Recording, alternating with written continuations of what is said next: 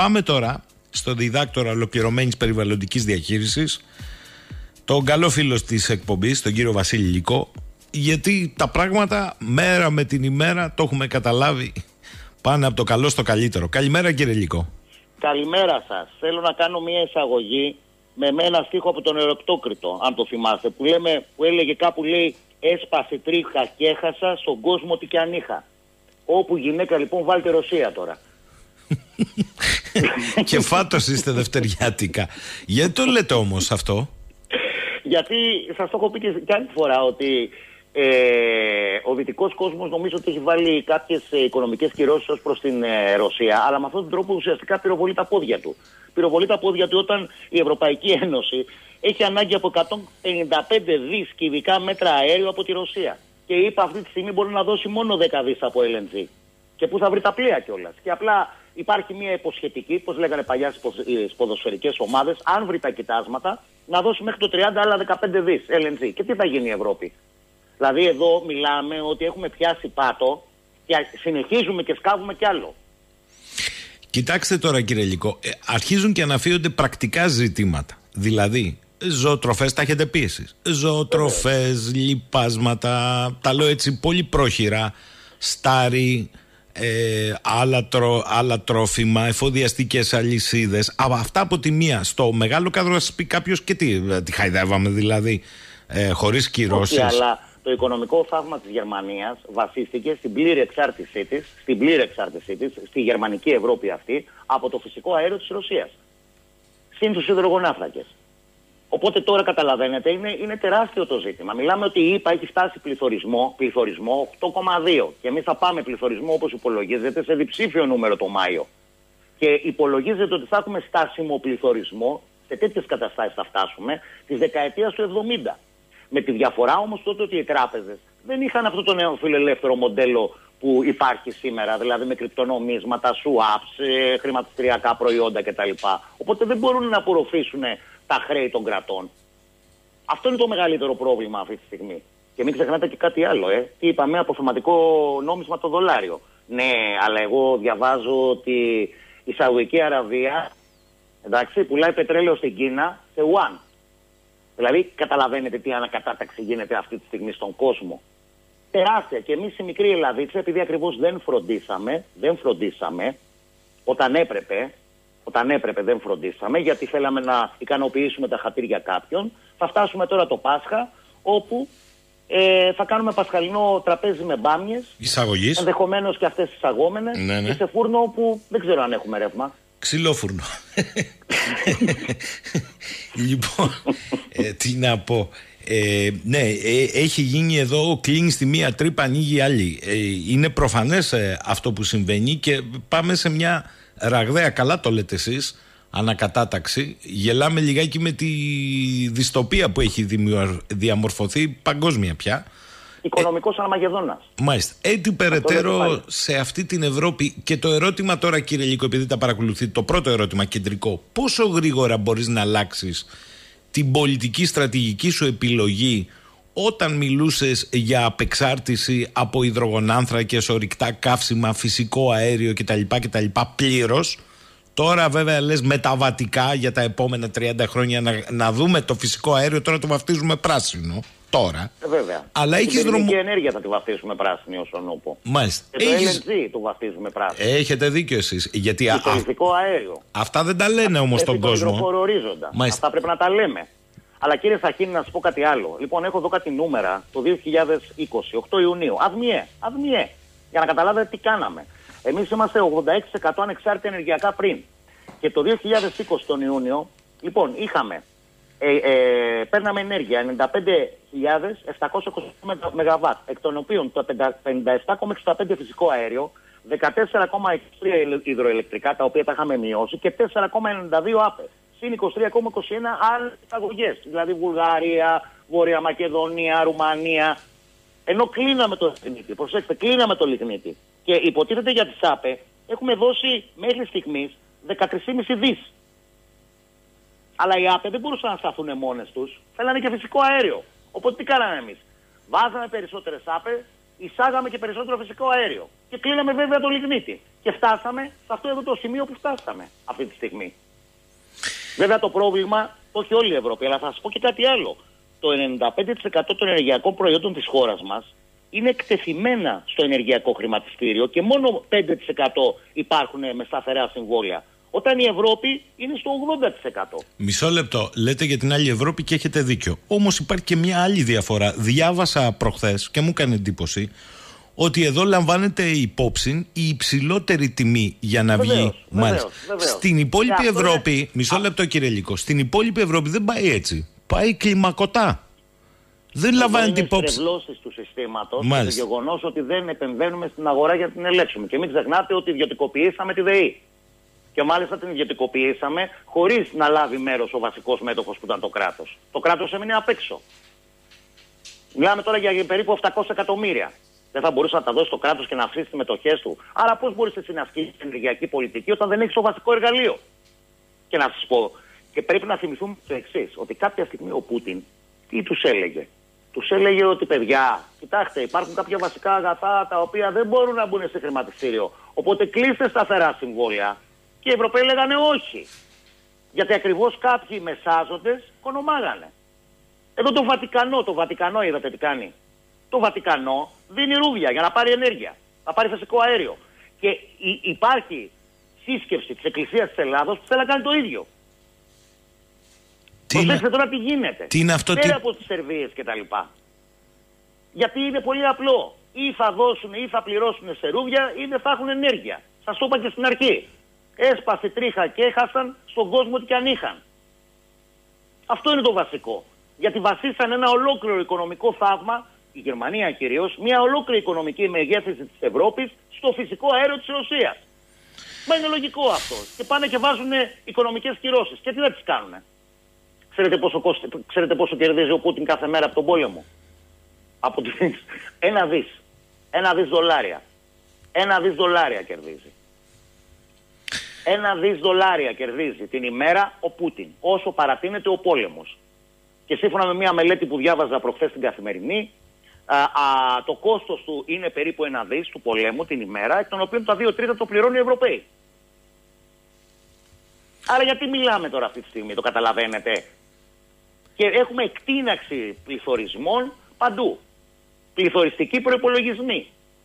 Πού θα πάει δηλαδή; Βλέπετε τι γίνεται στην αγορά. Φέτος δηλαδή βλέπω, προβλέπω αρνάκι ότι θα φάνε μόνο οι εφοπλιστές και ενδεχομένως και οι γόνοι τους. Ε, άσχετη ερώτηση. Έρχεται από το Βιετνάμ, αλλά θα τη διαβάσω. Είναι άσχετη. Α, είναι απόγευμα στο Βιετνάμ και λέει άσχετη ερώτηση, να με συγχωρείτε λέει που σας κόβω τον ήρμο. Ο κύριος Λύκος λέει έχει κάποια σχέση με την ιστορική ταβέρνα Λύκος στην Εύβοια. Τι είναι Ναι, αυτό; είναι, είναι Ορίστε. ξάδερφός μου. Τι είναι; Είναι ξάδερφός μου. Μάλιστα. Ορίστε. Α, α, Ο Αποστόλης, ο, Απο, ο Αποστόλης ο Λύκος. Μάλιστα. Α, απάντηση στο Βιετνάμ κάνατε, αλλά τι να κάνω τώρα. λοιπόν, η σχετική ερώτηση από το Σιμεών. Αγοράζουμε, λέει κύριε Λύκο, από τα Βαλκάνια ηλεκτρικό ρεύμα και αν ναι, είναι σημαντικές οι ποσότητες και αν ναι, υπάρχουν και ελληνικά συμφέροντα σε αυτές τις ποσότητες; Βεβαίως υπάρχουν και το είχα πει σε προηγούμενη εκπομπή σας. Και ψάξτε στο περιβάλλον του Πρωθυπουργού για να βρείτε. Κυρίως από Βόρεια Μακεδονία. Αγοράζουμε λιγνητικά προϊόντα. Όχι, προ- όχι λιγνητικά προϊόντα, αλλά ανα- αγοράζουμε ενέργεια από λιγνίτη. Εντάξει, τη στιγ- ίδια στιγμή που στη Φλόρινα εμείς κλείνουμε το λιγνίτη. Και μπορεί να έχουν και απόσταση 4 χιλιόμετρα. Από εκεί δηλαδή δεν ε, εκπέμπουν διοξίδιο του άνθρακα, εδώ εκπέμπουμε διοξίδιο του άνθρακα. Και φανταστείτε, όπως σας είπα και προηγουμένως, ότι το 20 αυτές οι εισαγωγές ήταν 23,21. 23,21% ήταν αυτές οι εισαγωγές. Πέρα από φυσικά αέρια Ρωσίας κτλ. 23,21. Εμείς σήμερα έχουμε ανάγκη, για να καταλάβετε, 115.000 ΜΒ ρεύμα, ε, φυσικό αέριο που παίρνουμε, ε, ρεύμα τους παίρνουμε από τη Ρωσία. Αλλά ξέρετε, αυτό δεν έχει γίνει τώρα. Δεν έχει γίνει τώρα. Αυτό έχει γίνει από τα lockdown ξεκίνησε. Ναι. Δηλαδή, εν μέσω παραδημίας οι προμηθευτές πουλούσαν μέχρι και τέσσερις φορές πάνω. Και κανένας δεν μίλαγε τότε. Το 20. Το 20 στο χοντρική. Το Ε, 20 στο χοντρική. Η Μαρία λέει, κύριε Λύκο, έχετε την αίσθηση ότι τώρα θα δούμε στους λογαριασμούς σαν να τιμήσει συνέπεια του πολέμου; Ε, βέβαια, μα ήδη έχει, α- ε, έχει αρχίσει, αλλά τώρα πιστεύω ότι θα εκτιναχθεί. Σήμερα έχουμε ε, ρεκόρ ρεύματο σε χονδρική στην Ελλάδα. Σήμερα, σήμερα που μιλάμε. Ρεκόρ τιμής ρεύματος. Μάλιστα. Νεκτάριος. Άρα τι θα γίνει; Νεκτάριος, καλημέρα σας. Από χθες το βράδυ ο αγωγός Γιαμάλ έκλεισε τελείως. Αυτό επηρεάζει κυρίως τι βαλτικές χώρες αλλά και τη Γερμανία. Καταλαβαίνουμε, λέει, τι έρχεται.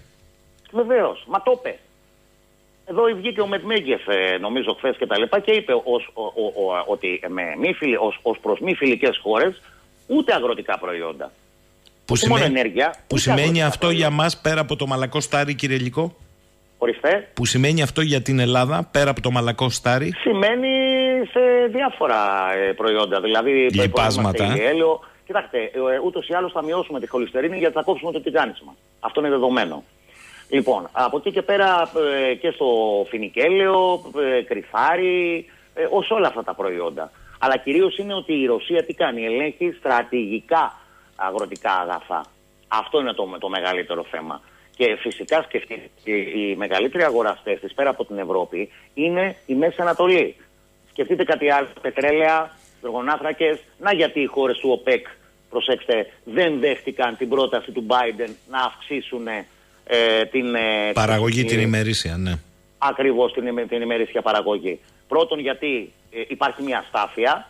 Δηλαδή, οι ίδιοι οι Ευρωπαίοι πυροβολήσαν με τα πόδια μας με τα lockdown, γιατί σου λέει: Εγώ ε, θα κάνω κάποιες επενδύσεις για να κάνω αυτή την αύξηση παραγωγής. Εγώ πώς θα κάνω απόσβεση μετά; Ένα το κρατούμενο και δεύτερον, γιατί δεν θέλουν να σπάσουν τι σχέσει με τη Ρωσία.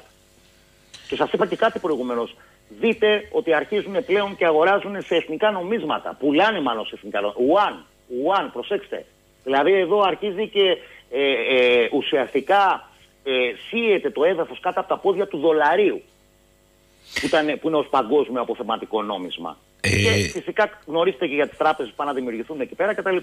Για τις αραβικές χώρες που αναφέρατε σωστά να πω ότι μέχρι και τέλη Δεκεμβρίου οι όποιες δαπάνες για την Ευρωπαϊκή Ένωση ήταν μη επιλέξιμες αφού δεν ήταν πράσινης ενέργειας. Βεβαίως. Κατά δηλαδή, συνέπεια. Ο ίδιος ο Biden έλεγε μέχρι πρώτη ότι ξέρετε κάτι άπε και τα λοιπά και ε, δεν θέλουμε υδρογονάθρακε και τώρα ξαφνικά γίνεται χαμός για τα ορυκτά καύσιμα. Και φυσικά, κύριε Φαχίνη, πού θα πάνε για να βρουνε καινούργια αποθέματα, μα νοτιοανατολική Ευρώπη.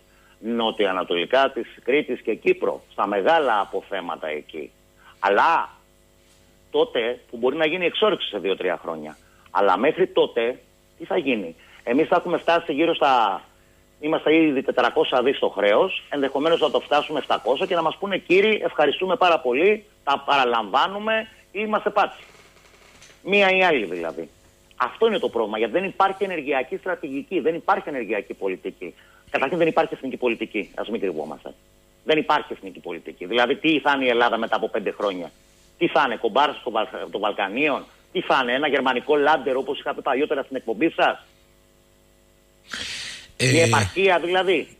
Άρα και οι όποιες ανακοινώσεις που παραπέμπονται για το τέλος της εβδομάδας για τις έρευνες, κατά τη γνώμη σας, πρώτον έχουν καθυστερήσει και δεύτερον δεν ξέρουμε σε ποιο πλαίσιο είναι ενταγμένες. Σωστά; Ακριβώς, ακριβώς. Ακριβώς. Και, και, και, και, δείτε και την αναδιάταξη του ΙΣΜΕΤ, όπως αλλιώς ονομαστεί. Δηλαδή το Ισραήλ θα τα βρει με την Τουρκία και η Τουρκία αυτή τη στιγμή θα γίνει ο μεγάλος παίκτης στην περιοχή. Καλά, εγώ δεν το συμμερίζομαι αυτό το σενάριο. Τόσο απλό δεν είναι για το Ισραήλ να τα βρει με την Τουρκία, αλλά εν πάση περιπτώσει είναι κάτι που Ήδη ακούγεται. Υπάρχουν διπλωματικές πηγές υπό την, ε, υπό την, ε, ε, με τη συμμετοχή των Αμερικανών προκειμένου να τα βρούνε.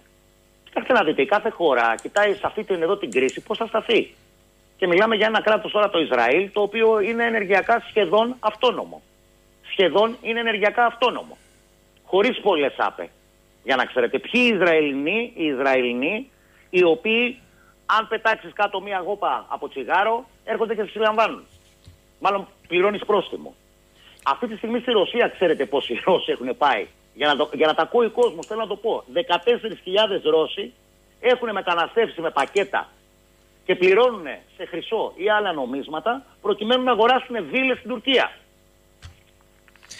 Λέει ο Θανάσης... Να λοιπόν το παιχνίδι που κάνουν οι Τούρκοι. Λέει ο Θανάσης εδώ, καλημέρα λέει. Μήπως είμαστε τρομολάγνοι ε, στα τέτοια μας το ηλιέλαιο, φινικέλαιο κτλ. Εμείς έχουμε ελαιόλαδο, ποιο είναι το κόστος, έχετε ιδέα; Άρα μην λέμε μπαρούφες, διότι η ανάλυση είναι τι θα πάθει η Γερμανία, η Ολλανδία που έχει και μπόρους λόγω λιμανιών. Τι σχέση έχουμε εμείς μια αγροτική χώρα; Ε, γελάμε λέει, ελαιόλαδο έχουμε. Αυτά. Ναι, αλλά προσέξτε να δείτε τώρα τι γίνεται. Ότι για τηγάνισμα συνήθως χρησιμοποιείς τηγανιτές πατάτες και έξω χρησιμοποιείς το ηλιέλαιο. Ένα το κρατούμενο. Δεύτερον, εμείς τις περισσότερες τα, τα λάδια μας τα δίνουμε στην Ιταλία. Αυτή τα, τα, αυτή τα, Τυποποιούν, ναι, ναι. Τα τυποποιεί και στη συνεχεία τα πουλάει. Δηλαδή, εμείς το λάδι, θυμάστε, το πουλάγαμε, είχε φθηνότερη τιμή από το νερό. Πρώτον. Και δεύτερον, πόσες πόσα εκτάρια αγροτικής γης αυτή τη στιγμή είναι παροπλισμένα. Δεν μιλάμε για ακρανάπαυση. Μιλάμε για παροπλισμένα, παροπλισμένα, παροπλισμένα. Και να σα πω και κάτι άλλο. Ο κύριος Κρέκας δεν είχε πει ότι στους αγρότες εδώ και ένα-δύο μήνες ότι εσείς γιατί μιλάτε, ούτως ή άλλως 2,8 εισφέρετε σε ό,τι αφορά το ΑΕΠ. Ενώ πέντε εφοπλιστές εισφέρουν πολύ παραπάνω. Αυτό θέλω να πω. Αυτό θέλω να πω. Δηλαδή μέσα από τη μεγένθηση αυτή που κάνω θέλω να τονίσω ότι εμείς οι ίδιοι πυροβολούσαμε τα πόδια μας. Διότι δεν μπορεί να σταθεί κράτος, κατεξοχήν αγρο, αγροτικό κράτος, όταν δεν ενισχύσει την αγροτική του παραγωγή. Ξέρετε πόσο παίρνουν, τι δίνουν στους αγρότες; Δίνουν στους αγρότες 100, αν δεν κάνω λάθος, ευρώ το χρόνο. Επίδομα. Επίδομα. Από δημοσιονομικό χώρο που δεν υπάρχει. Το τρακτέρ για να το λειτουργήσει ο άλλος θέλει 180 ευρώ τη μέρα. Πώ θα πάει να καλλιεργήσει; Ο Γιάννης, πώς γίνεται να επιβάλλουμε κυρώσεις στη Ρωσία και από την άλλη να αγοράζουμε σε ρούβλια ή να παίρνουμε τα προϊόντα της Ρωσίας μέσω άλλων χωρών, βλέπε Τουρκία, που δεν έχουν επιβάλει κυρώσεις; Μα εμείς, κοιτάξτε, ε, η, η Τουρκία, σας λέω, παίζει το καλύτερο παιχνίδι αυτή τη στιγμή παίζει το καλύτερο παιχνίδι διότι είναι εσύ και κοιτάει να υποφεληθεί. Με και στο τέλος θα δείτε ότι θα παίζει και ένα νευραλγικό ε, ε, ρόλο και σε σχέση με το, με το ΝΑΤΟ. Γιατί εκεί θα καταλήξει, θέλει δεν θέλει, κάποια στιγμή θα χρειαστεί να πάρει θέση. Όμως μέχρι τότε θα έχει αναβαθμίσει πάρα πολύ το ρόλο της. Το θέμα είναι τώρα με αυτό που είπε ο ακροατής, ερώτηση που έκανε, την οποία νομίζω ότι την έχω απαντήσει προηγουμένως, είναι ότι δεν το σκεφτήκαμε πριν. Είναι σαν να πυροβολούμε τα πόδια μας. Δηλαδή, εγώ εξαρτάμαι από εσάς και εν συνεχεία θα σας επιβάλλω κυρώσεις. Ε, μα πώς θα γίνει; Ο Λεωνίδας λέει: Κύριε Λίκο, αναφέρεστε σε εργοστάσιο ηλεκτρισμού που αγοράστηκε επί προηγούμενης κυβέρνησης στα Σκόπια; Δεν ξέρω αν αγοράστηκε. Εγώ ξέρω ότι ο διαμεσολαβητής είναι κάποιος άλλος. Αυτό δεν, δεν μπορώ να το, να το γνωρίζω. Μάλιστα. Αν αγοράστηκε η προηγούμενης κυβέρνησης κτλ. Αλλά σας λέω πώς έχει γίνει το, πώς είναι το όλο θέμα. Και μάλιστα χειρότερης ποιότητας Χειρότερης ποιότητας. Mm. Ο φίλος μας ο Γιάννης από τις Βρυξέλλες, καλημέρα κύριε Γιάννη, περιμένουμε να δούμε πότε θα επιστρέψετε Ηράκλειο. Οι Γερμανοί θα πρέπει να παραιτηθούν και να εγκαταλείψουν την πράσινη, αντιπυρηνική και αντιλιγνητική ενεργειακή πολιτική τους. Αν θέλουν να ελέγξουν την εξάρτησή τους από το ρωσικό αέριο στο ελάχιστο, πρέπει να διατηρήσουν τους σταθμούς ηλεκτροπαραγωγής που υποσχέθηκαν να κλείσουν.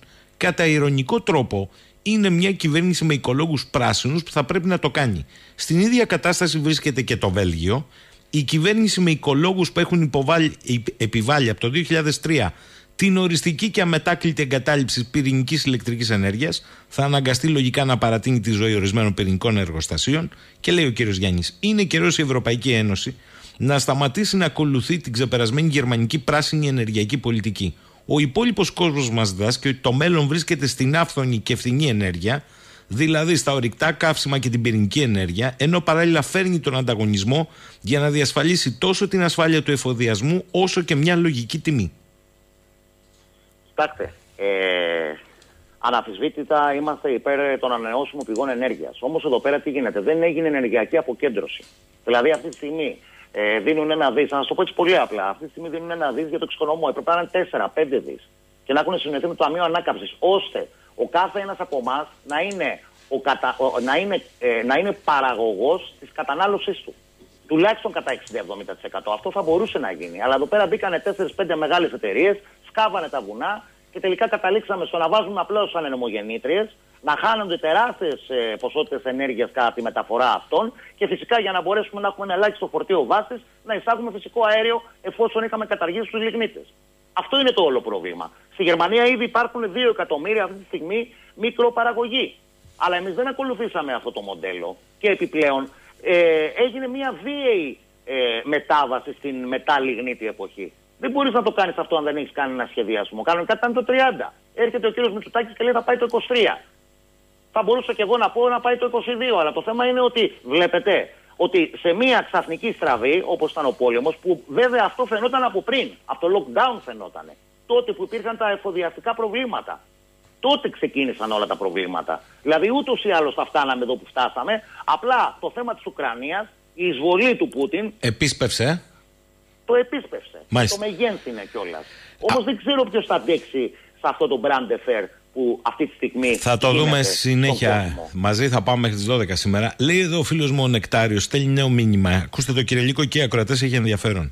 Φυσικό αέριο από τη Ρωσία τέλος πλέον στις χώρες Βαλτικής. Η δήλωση έγινε πριν από λίγο στο ραδιόφωνο της Λετωνίας από τον κύριο Ούλντις Μπάρις, δεν ξέρω αν το διαβάζω καλά με προφορά, πρόεδρο του Διοικητικού Συμβουλίου του Διαχειριστή Συστήματος Φυσικού Αερίου GSC Connexus Baltic Grid. Connexus. Ε, καταλαβαίνετε λοιπόν ότι οι πρώτοι που καλούνται να πληρώσουν το μάρμαρο και δεν είναι το κρύο μόνο, είναι πώς λειτουργούν και οι, ε, οι βιομηχανίες, οι επιχειρήσεις, είναι οι χώρες της Βαλτικής αυτή τη στιγμή. Ακριβώς, τέλος. Πού θα στραφούν αυτές, δηλαδή καταλαβαίνετε τώρα τι γίνεται. Και όσο διαρκεί, σας λέω, και όσο διαρκεί ο πόλεμος, δηλαδή εγώ πραγματικά κάθομαι μερικές φορές και το σκέφτομαι και λέω τελικά ποιο είναι το σχέδιο του Πούτιν; Γιατί οι περισσότεροι πιστεύανε ότι θα γίνει ένα Greek, θα μπει για τρει-τέσσερι μέρες, θα το επιβάλλουν κάποιες κυρώσεις και τελείωσε. Μήπως όμως το σχέδιο του Πούτιν είναι ότι κάθε μέρα που εγώ παρατείνω τον πόλεμο, εγώ βγάζω και ένα δις. Και λένε τώρα ότι, ε, ότι είναι δυσβάσταχτες, δηλαδή 8 με 9% χάνει ο Πούτιν στο ΑΕΠ του από, από αυτές τις κυρώσεις. Το, πρόβλημα όμως ποιο είναι, το θέμα όμως ποιο είναι; Είναι ότι ήδη του παρέχει βοήθεια η Κίνα. Οπότε μπορεί να ξεπεράσει τα SWIFT.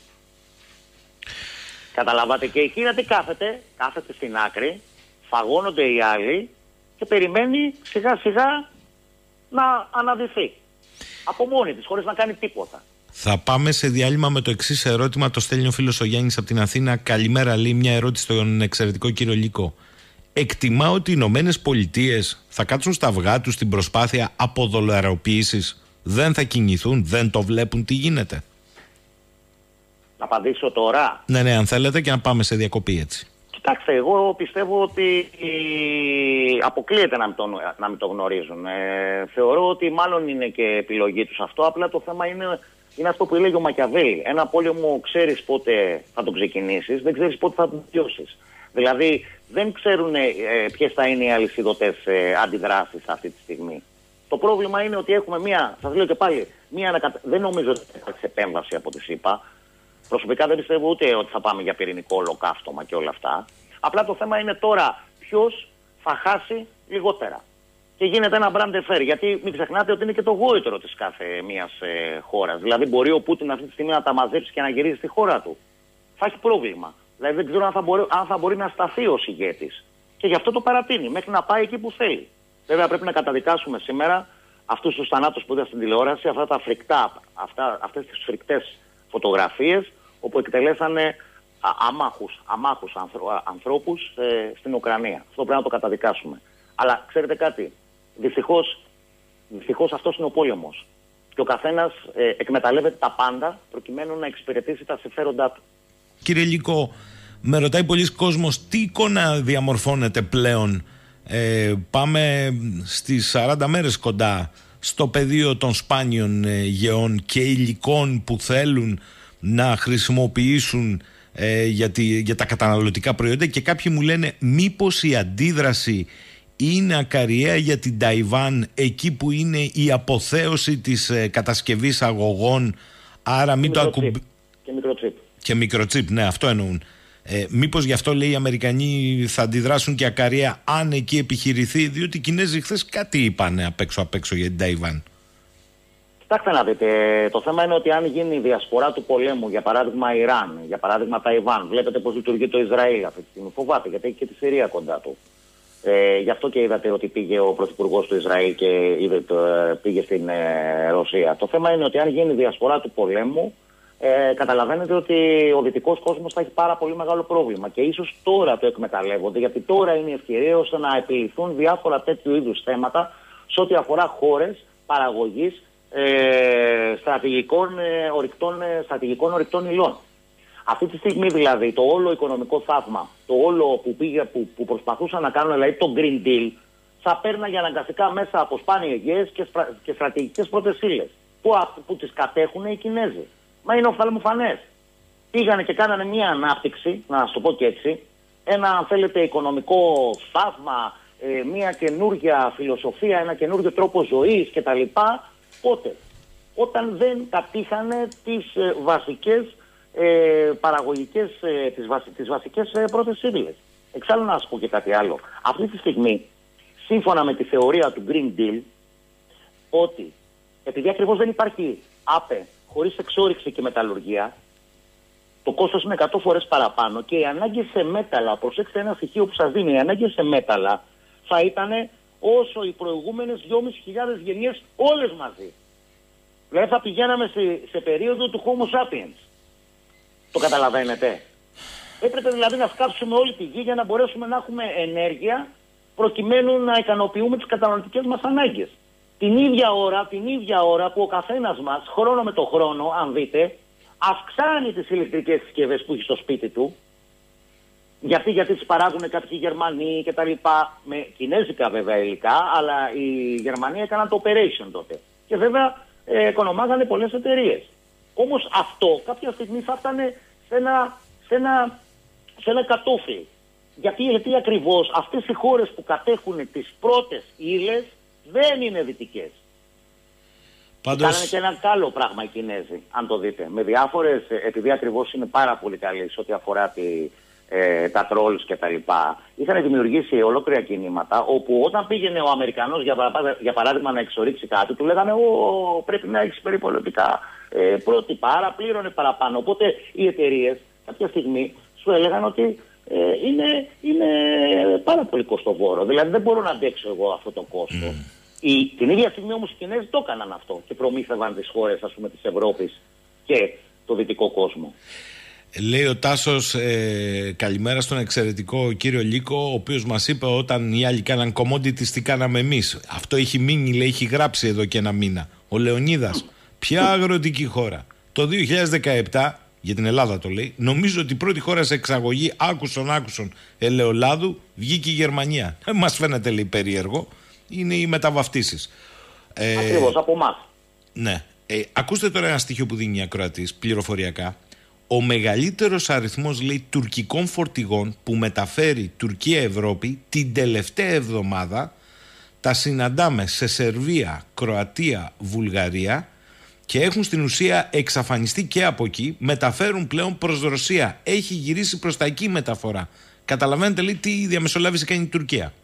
Βεβαίως. Προφανώς είναι του χώρου των φορτηγών και ξέρει ο άνθρωπος τι λέει αυτή τη στιγμή, πώς έχει μετατοπιστεί η, στα πλαίσια της εφοδιαστικής αλυσίδας η δουλειά των ε, ε, φορτηγατζίδων της Τουρκίας. Έτσι. Η Τουρκία, σας λέω, είναι αυτή τη στιγμή παίζει ένα εξαιρετικό παιχνίδι.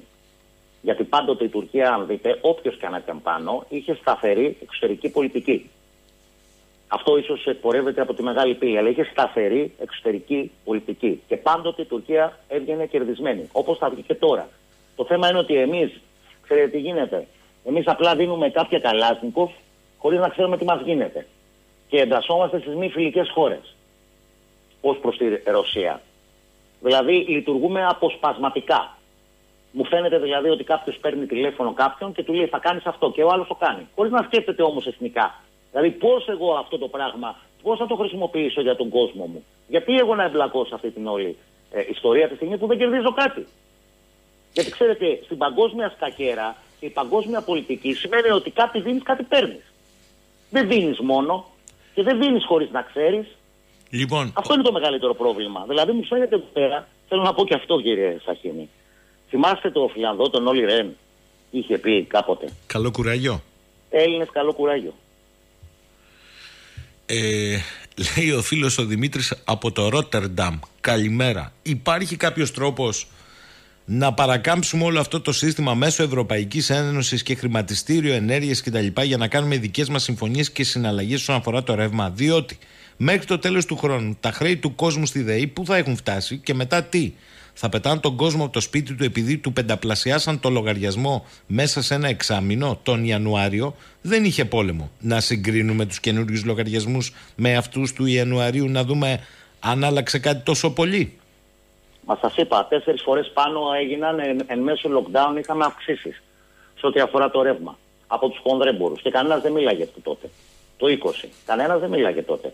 Το πρόβλημα, ξέρετε ποιο είναι, κύριε Σαχίνη; Ότι εγώ κατάγομαι από την Εύβοια. Λοιπόν, τη μαρτυρική Εύβοια. Βέβαια, εγώ κατάγομαι από την Νότια Εύβοια. Λοιπόν, η Εύβοια είναι. Όλοι μιλάγανε για ανεμογεννήτριες. Κανένας όμως ποτέ δεν μίλησε για γεωθερμική ενέργεια.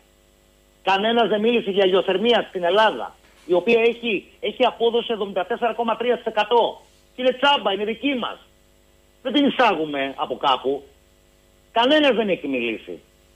74,3. Ξέρετε πόσο έχουν, τι απόδοση έχουν σύμφωνα με το capacity factor για ανεμογεννήτρε. 35%. Και 25% τα φωτοβολταϊκά.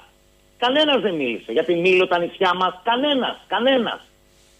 Γιατί άραγε ονομάστηκαν θερμοπύλες.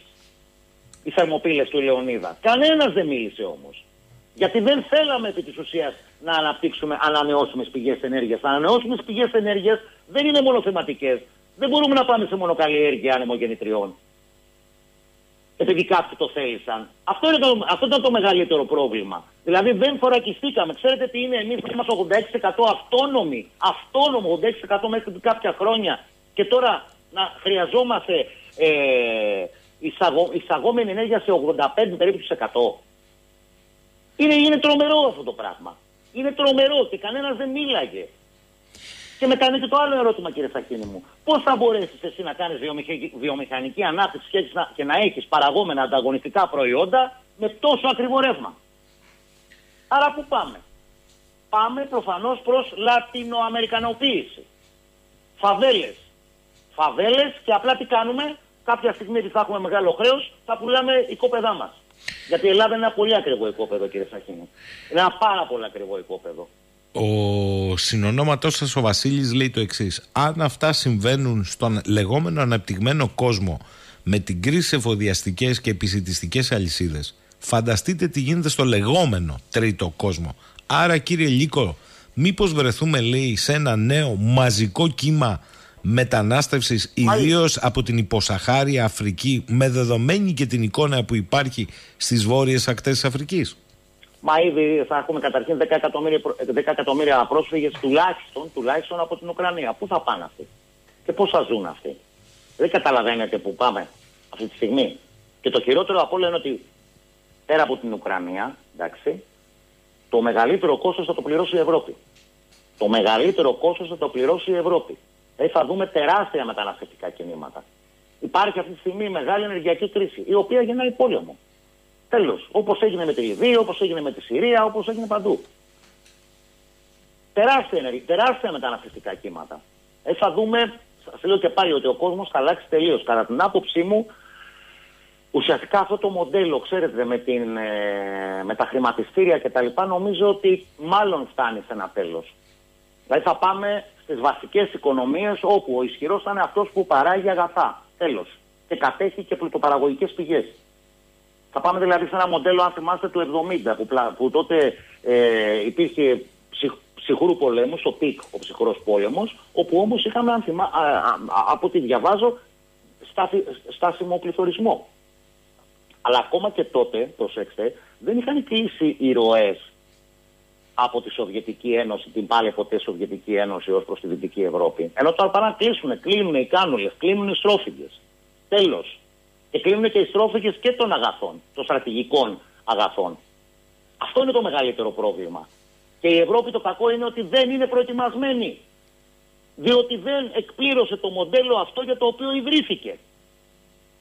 Όπου ο πλούσιος βορράς θα τρεφόταν από τον, ε, από τον αγροτικό νότο. Όχι. Πήγανε σε μια στρέβλωση. Αυτή τη στιγμή το εμπορικό ισοζύγιο μας, το ξέρετε, είναι 2 εκατομμύρια ευρώ το ξέρετε ότι αυτή τη στιγμή χρησιμοποιούμε 6.000 ε, ε, προϊόντα καθημερινά αγαθά, τα οποία είναι, είναι, είναι ε, υποπροϊόντα του πετρελαίου, από επεξεργασίας του πετρελαίου. Τι θα γίνει με όλα αυτά; Πέρα από λιπάσματα σας λέω και όλα τα υπόλοιπα, από αμμονίες και όλα αυτά. Πέρα από αυτά, τι θα γίνει; Ε... Και δεν υπάρχει, δεν υπάρχει ευρωπαϊκή πολιτική αυτή τη στιγμή. Δηλαδή, επιδοματική πολιτική μπορεί να υπάρξει. Ωραία, θα κόψουν χρήμα. Θα ανέβει ότι μάρεχνε. Και θα, υπάρξει μια, και θα υπάρχει μια ένα διαδικασία. Εμείς τώρα, ωραία, μπορεί να δώσουν, να, να δώσουν επιδοτήσεις. Από ποιον δημοσιονομικό χώρο; Από ποιον δημοσιονομικό χώρο θα δοθούν αυτά; Από ποιον; Γιατί ξέρετε, εδώ τώρα είναι και η εκδίκηση. Θυμάστε ένα παλιό τραγούδι που έλεγε Η εκδίκηση της γυφτιάς. Λοιπόν, υπό την έννοια του μαύρου, λοιπόν, εγώ βάζω τα ορυκτά καύσιμα. Τώρα έρχεται η εκδίκηση των ορυκτών καυσίμων έναντι σε όλες αυτές τις ε, νέες τεχνολογίες, artificial intelligence, ψηφιακή μετάβαση και όλα αυτά κτλ. Τώρα γίνεται το ανάποδο. Αυτοί δηλαδή που χάνανε πριν και κερδίζανε οι άλλοι, με τα Zoom, τα Webex και όλα αυτά, τώρα θα γίνει το ανάποδο ακριβώς. Γιατί επανερχόμαστε, δηλαδή ουσιαστικά πιέζουμε την κοινωνία προς τα κάτω. Δηλαδή ε, η κοινωνία πρέπει να, να κάνει μια ολική επαναφορά προς τα πίσω για να μπορέσει να επιβιώσει. Προσέξτε, για να μπορέσει να επιβιώσει. Ε, ρωτάνε πάρα πολλοί ακροατές ε, κύριε Ελικό πώς μπορεί ιδίως στον πρωτογενή τομέα να στραφεί άμεσα στρατηγικά η χώρα. Υπάρχουν κινήσεις που μπορούν Εγώ να δεν γίνουν; έχω δει κάτι μέχρι στιγμής, κύριε Σακίνη. Αλλά ξέρετε, το φρονίμον τα παιδιά πριν πεινάσουν μαγειρεύουν. Δεν δώσαμε σημασία. Σας είπα προηγουμένως τι είχε υποθεί ε, από τον κύριο Σκρέκα. Δεν μας ενδιέφερε ο αγροτικός τομέας. Ο αγροτικός τομέας τον είχαμε μόνο και μόνο εντάξει. Άμα βγαίνανε με τα τρακτέρ, δώσου κάτι αν ήταν πριν τις εκλογές και άσον εκεί. Δεν υπήρχε σχεδιασμός δεν υπήρχε σχεδιασμός για έξυπνη αγροτική οικονομία. Τίποτα. Δεν υπήρχε σχεδιασμός από το κράτος για το πώς θα κάνουμε συνεταιρισμούς. Πώς θα μπορέσουμε να ενώσουμε όλους αυτούς τους κατακαιρματισμένους κλήρου προκειμένου να έχουμε μια αξιόλογη παραγωγή. Προκειμένου να πάμε σε καινούργια προϊόντα, αγροτικά προϊόντα, έξυπνα προϊόντα. Δεν υπήρχε αυτό το πράγμα. Το αφήναμε ως είχε. Γιατί, γιατί εμείς ε, καθοδηγούσαμε την οικονομία μας από εκεί που μας έλεγαν κάποιοι όπου υπήρχαν επιχειρηματίες οι οποίοι κέρδισαν. Τίποτα άλλο. Τίποτα άλλο. Δεν υπήρχε στρατηγική. Δεν υπήρχε. Ε, ολόκληρες περιοχές απογυμνώθηκαν, ολόκληρες περιοχές ε, έφτασε σε ολόκληρες περιοχές, ε, έφτασε η, η, η ανεργία σε σημεία ρεκόρ, εκεί που υπήρχε η αγροτική οικονομία παλιότερα και απαξιώθηκαν τεράστιες εκτάσεις γης. Γύρω στα 9 εκατομμύρια στρέμματα θα δει αυτή τη στιγμή. Δημόσ, δηλαδή, δημόσια και, και ιδιωτική. δεν ε; πήγαμε σε ναι. παραγωγή βιομάζας. Δεν πήγαμε σε παραγωγή βιομάζα. Είναι, είναι, τι να σας πω, αυτό είναι εγκληματικό. Είναι εγκληματικό. Σας μιλάω ειλικρινά, είναι εγκληματικό. Υπάρχουν κάποιοι άνθρωποι που έχουν βάλει την υπογραφή τους ώστε να πεινάσει ο ελληνικός λαός. Πρέπει να το πούμε αυτό το πράγμα. Πρέπει να το πούμε. Και ε. ξέρετε κάτι, επειδή έρχονται δύσκολες μέρες, πρέπει πλέον να λέμε αλήθειες. Και να μην κρύβουμε διάφορα πράγματα κάτω από το χαλάκι. Ε, ο φίλος ο Λεωνίδας επανέρχεται και λέει: Θέλω να πω κάτι. Επαγγελματίας οδηγός είναι. Καλά το καταλάβαμε. Ε, μπορεί λέει, να σας ζαλίζω, αλλά συγγνώμη. Την τελευταία τριετία στη Σερβία η Τουρκία έχει κάνει τεράστιες επενδύσεις και φαίνονται πάνω στην εθνική οδό που έχει γεμίσει από τουρκικές σημαίες σε πρατήρια και ξενοδοχεία από τα αδέρφια μας Σέρβους. Δεν είμαστε ηλίθιοι λέει, οδηγοί είμαστε και βλέπουμε. Προσπαθεί ο άνθρωπος να πει πώς γίνεται η διάχυση και στα Βαλκάνια της ε, τουρκικής εξωτερικής και οικονομικής πολιτικής. Δεν λέει κάτι παράλογο, κατά τη γνώμη Ακριβώς, ακριβώς. Τι να, τι να πω πάνω εκεί. Ουσιαστικά με, με, με, με τρεις λέξεις ε, συν, με, με τρεις λέξεις συνοψίζει όλα αυτά που έλεγα προηγουμένως σχετικά με την Ελλάδα. Mm. Ακούστε, είναι απλά τα πράγματα. Α, για ακούστε μια πορεία, δεν ξέρω αν ξέρετε. Δεν είστε βέβαια ούτε τραπεζικός ούτε νομικός, αλλά μπορεί να το έχετε ακούσει. Τα χρήματα της Ρωσίας και από την ενέργεια και το φυσικό αέριο που δεσμεύονται λόγω των κυρώσεων κατάσχονται και χάνονται ή θα είναι απαιτητά από τη Ρωσία στο μέλλον; Προς το παρόν δεν νομίζω ότι χάνονται. Είναι παγωμένα. αλλά γι' αυτό και ο Πούτιν, ο Πούτιν τι έχει κάνει; Τους λέει, κύριοι, θα πληρώνετε σε ρούβια. Προκειμένου αυτός να παίρνει το συνάλλαγμα. Δηλαδή αυτός θα συγκεντρώνει ευρώ και δολάρια. Από την κεντρική του τράπεζα που, που, που, που, που, ε, που κόβει τα ρούβια. Και παράλληλα υπάρχει ανατίμηση του, του ρουβλίου. Γι' αυτό το κάνει ο Πούτιν. Καταλαβαίνετε, δηλαδή ως ένα, ως ένα μέρος, αυτό που κάνει ότι, που τους λέει ότι θα πληρώνετε σε ρούβια, ουσιαστικά αναιρεί τις οικονομικές κυρώσεις που του έχουν επιβάλει και βέβαια ισχυροποιεί το νόμισμά του. Αυτό κάνει. Είναι πολύ απλό. Δηλαδή δεν χρειάζεται να έχεις καμία ιδιαίτερη οικονομική γνώση. Απλά σου λέει, κύριε, εφόσον δεν θέλεις, και εν τω μεταξύ ποιο είναι το θέμα; Δεν μπορούμε να κάνουμε και διαφορετικά. Εγώ αμφιβάλλω αν μπορεί να κάνει διαφορετικά η Ευρώπη.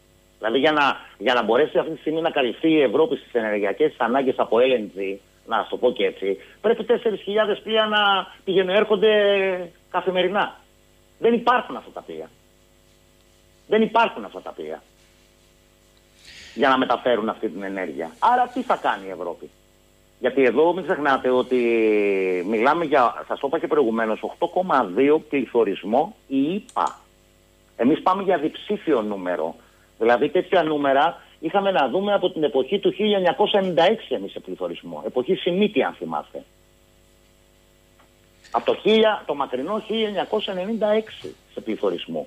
Τι θα γίνει λοιπόν; Αυτά, είναι τα, αυτά είναι τα μεγαλύτερα προβλήματα και δεν βλέπω να γίνονται σημαντικές κινήσεις στρατηγικές με προοπτική. Απλά συσκέπτονται, παρασυσκέπτονται, να δούμε, πάρε και ένα επίδομα εσύ ξέρω εγώ 100 ευρώ, πάρε εσύ κάτι άλλο. Δεν μπορεί να λυθεί αυτό το πρόβλημα έτσι. Δεν γίνεται. Αυτό είναι παρηγοριά στον άρρωστο, να το πω και έτσι. Δεν βλέπω, δεν βλέπω εθνική αυτή τη στιγμή εθνική ε, πολιτική προκειμένου να μπορέσει ο κόσμος καταρχήν να, να μπορέσει, να, μπορέσει να, να βγάλει τη, τα προστοζήν εντάξει, και να προχωρήσουμε. Αυτό είναι το μεγαλύτερο πρόβλημα. και κάποτε λέγανε ότι ήταν απομονωμένη, ξέρετε, η Τουρκία και η Τουρκία φτωχεύει και η Λύρα και το ένα και το άλλο. Τι ωραία, ε. ε βέβαια... ακούστε εδώ, λέει ο Γιάννης, στη Νέα Υόρκη, τουρκική εταιρεία, κολοσσός, φτιάχνει όλες τις γέφυρες καινούριες. Αν δεν κάνω λάθος, μάλιστα ο ιδιοκτήτης της είναι αυτός που έχει την ποδοσφαιρική ομάδα Γαλατά Σεράι. Ο Γιάννης μας το στέλνει από το Μαϊάμι. Ε, εντάξει, παιδιά, μας κάνει εντύπωση. Είναι ε, στις 20 πλουσιότερες χώρες ε, του πλανήτη. Μην, μην, μην, εντάξει, μην τα βέβαια. Εμείς εδώ, εμείς εδώ, ενώ συμβαίνουν αυτά, κύριε Σαχίνη, αντί να έχουμε κανονική πληροφόρηση, και θέλω να το πω αυτό τώρα, μια και πλησιάζουμε προς το τέλος της εκπομπής, από ό,τι καταλαβαίνω. Ναι, ναι. Εμείς εδώ, κύριε Σαχίνη, ξέρετε τι κάνουμε; Αποπροσανατολίζουμε τον κόσμο αντί να μιλήσουμε για τα πραγματικά προβλήματα και πώς θα αντιμετωπίσουμε την κρίση που έρχεται, την κρίση πολλαπλών επιπέδων που έρχεται και τι κάνουμε. Πού και πού βγάζουμε κανένα εμβόλιο. Αλήθεια, τι έγινε αυτή η πανδημία. Δεν ξέρω, εγώ βλέπω ότι αυξάνονται τα κρούσματα, αλλά κανείς δεν μιλάει τώρα πια γι' αυτό, γιατί έχουν άλλα προβλήματα. Λοιπόν, α, ε, μιλάμε λοιπόν για εμβόλια, αν είναι να πουλήσουν κάποιες εταιρείες. Και από την άλλη, πουλάμε στον κόσμο, κύριε Σαχίνη, σπέρμα, αίμα και ίντριγκα σπέρμα, αίμα και ίντριγκα. Για να μπορέσουμε να καθησυχάσουμε το πόπολο. Ω πότε όμως; Ναι. Όταν θα έρθει η επανάσταση καθαρόλα, τι θα γίνει; Εντάξει, γίνεται για την ώρα της Ευελπίδων η κάμερα, της κάμερας ο πανζουρλισμός αυτή τη στιγμή και non Αυτό, αυτό είναι το θέμα αυτή την ώρα που μιλάμε. Αυτό είναι το θέμα. Γι' αυτό μιλάω. Γι' αυτό το λέω. Λοιπόν, κύριε Λίκο, θέλω να σας ευχαριστήσω αρχή της εβδομάδας. Μας τη φτιάξατε καλά, αλλά τι να κάνουμε. να είστε καλά, θα τα ξαναπούμε. Θα σα ευχαριστώ και εγώ ιδιαίτερα. Το θέμα είναι ότι προσπαθώ να ακολουθήσω τον κόδωνα του κινδύνου. Τώρα είναι η ώρα. Αν όχι τώρα πότε; Τώρα είναι η ώρα. Τώρα είναι η ώρα.